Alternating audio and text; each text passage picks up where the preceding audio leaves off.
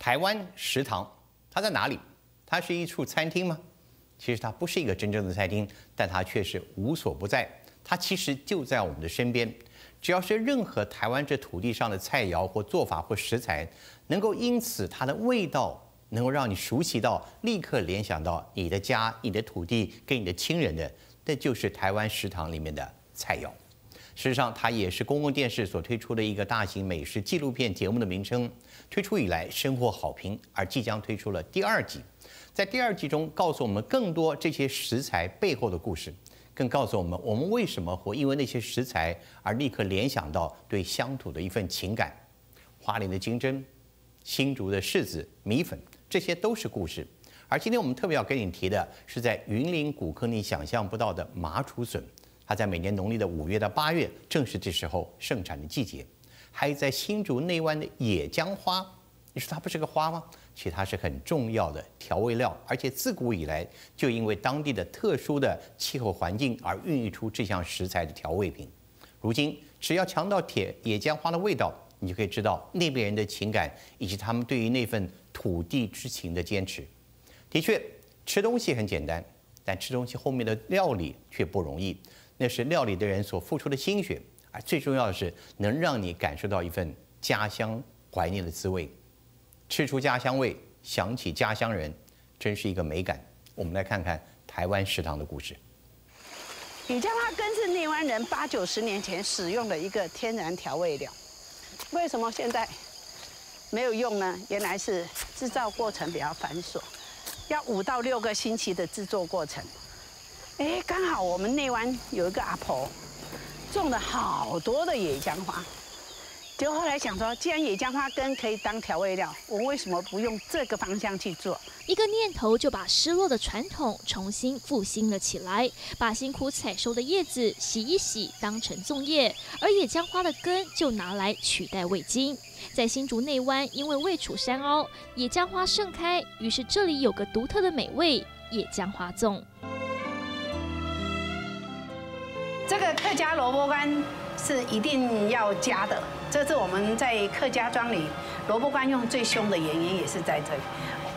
然后再来呢，呃，一个野姜花根的粉末一定要放进去当调味料，有味道还要有人情，在这里已经少有年轻人。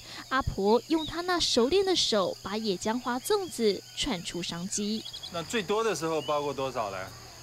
最多，嗯。天多一点，一天包一千个。他们哈一串粽子包下来哈，呃，正负哈没有差多少。哦，等下我们要称一下试验看。来到内湾，小火车是许多游客的目的之一。就像野姜花被当地人重新唤起一样，曾经没落的内湾，靠着观光展现了它的新风貌。一段野姜花的故事，台湾食堂不只告诉你到地台味，它还要把对家的思念端上餐桌。仔细一找，原来台湾到处有着对野姜花情有独钟的人。这里是宜兰的圆山，因为这里是泉水啊，全全部都是泉水。然后这个水要找适合种水的东西，所以我们才会选择了野姜花。这么说可一点都不委屈，因为坚持，所以把野姜花当成有机食材在栽培。即使它在多数人眼中相对廉价，随便摘都有，但就是能吸引到识货的人。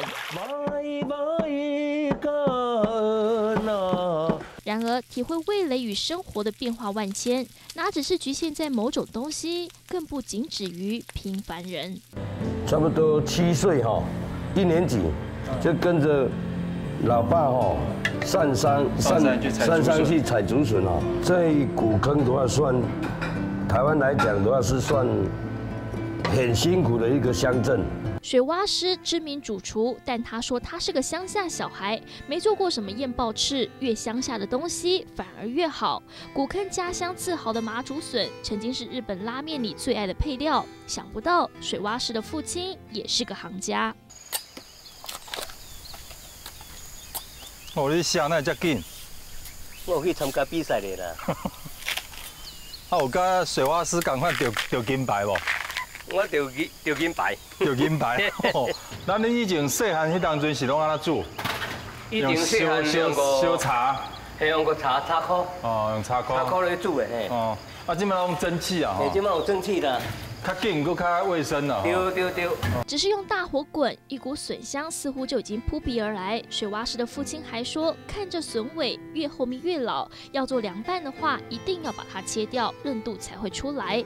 而对嘴挑的水蛙师而言，最忘不了的家乡味就是这一道了。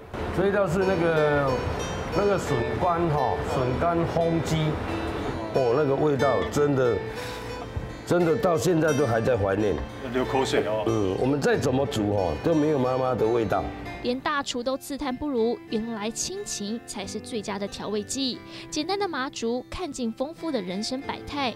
六十八岁的牛车嫂，还有七十四岁的牛车伯，割笋四十年了，仍然上山做活。啊，恁出来挂笋啊，拢爱排放香哦。排麻香，哦，嗯，无放爱定噶。最传统的做法，最简单的情感，连煮麻竹都要坚持古法。啊，这一鼎行爱行偌久？难啦，唔食啦吼嗯，这过会啊唔敢听啦。明明有更便利的方式，但牛车伯却选择外人看似最麻烦的。最可贵的是，他一点都不觉得累。一方水土一方人，土地和人的关系就是这么微妙。你背后那个就是花东纵谷是吧？呃，对啊，那个是花东纵谷啊，那个看到那个河河床是秀姑兰溪啊，六十担山是海岸山脉跟中央山脉最近的地方。一大片的金针花海，观光客视它如珍宝，但其实对花农而言，要是自己的金针园开满了花，那铁定会哭，因为金针花采的不是花朵，而是花苞。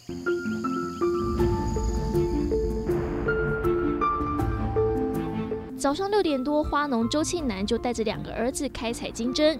这活到现在仍无法用机器取代，因为花朵大小不一，还要懂得变色。在完全人工的付出下，料理它就像呵护一般的小心。就是金针你不能煮太久，哦，哎，太久太久了，它就是它就会会氧化就变黑。